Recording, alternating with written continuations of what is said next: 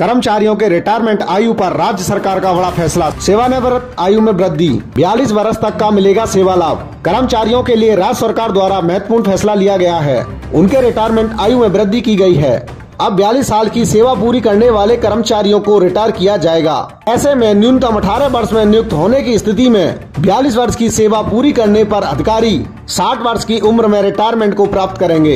इसके लिए शासन आदेश भी जारी किए गए हैं। दोस्तों, अगर आप भी जानना चाहते हो क्या है पूरी खबर तो बने रहिए मेरे साथ इस वीडियो में लास्ट तक। कर्मचारियों के लिए प्रदेश सरकार द्वारा बड़ी तैयारी की गई है। इसके तहत उनके रिटायरमेंट आयु में वृद्धि की गई है।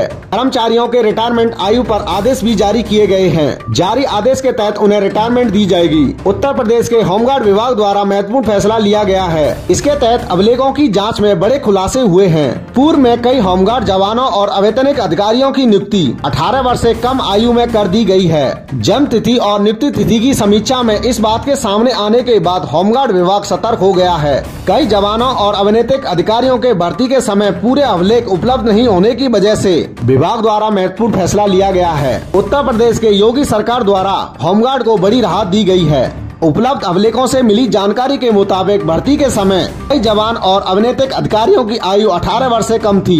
ऐसे मामले के निस्तारण के लिए शासन द्वारा महत्वपूर्ण निर्णय लेते हुए कहा गया है कि अभिलेखों में अंकित जन्म तिथि को ही आधार माना जाएगा। जिनकी आयु भर्ती के समय 18 वर्ष से कम थी, उनकी भर्ती की तिथि से 42 वर्ष की सेवा पूरी होने पर उसे माह की अंतिम तारीख पर उन्हें रिटायरमेंट दी जाएगी।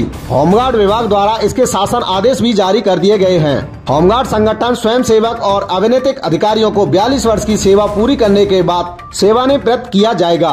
उनके जन्म तिथि का सही प्रमाण पत्र नहीं होने की वजह से नियुक्ति की तारीख से 42 वर्ष की अवधि पर उन्हें रिटायरमेंट देने का निर्णय लिया गया है। अपर मुख्य सचिव अनिल कुमार ने इसके आदेश जारी किए हैं। आदेश के मुताबिक प्रदेश के सभी होमगार्ड और अभिनेतिक अधिकारी की जन्म तिथि और नियुक्ति तिथि के प्रकरण की गहन समीक्षा भी की गई है। ऐसे में कर्मचारियों को महत्वपूर्ण लाभ भी मिलेगा। यदि किसी कर्मचारी की नियुक्ति 18 वर्ष में हुई होगी तो उन्हें 60 वर्ष तक सेवा का लाभ मिलेगा।